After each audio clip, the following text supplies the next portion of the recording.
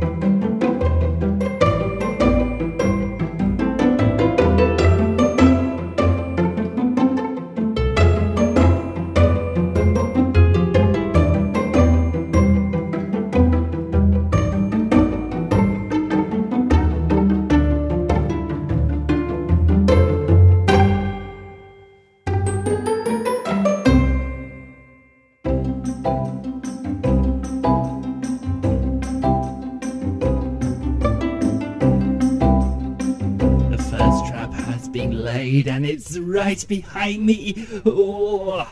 So literally all they have to do is walk into here as if they're gonna go and get the presents, just carry on walking and whoa! Nope! They fall down.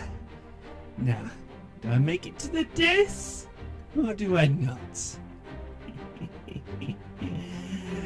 That's the question. But just up there, that is of course the present room, but they will be too low that they can't get to it. Should they manage to make it past this trap, and they manage to make it all the way through, they've got to be careful not to tread on any of these pressure plates, because any of them could be primed with TNT, and they'll blow up all their presents literally just a bang. Currently, there's no TNT, but I think it's time we go and get some TNT to place down here. This is going to be funny. I have myself some TNT. That too would be just nice. Let's go and place it into the Grinch's lair.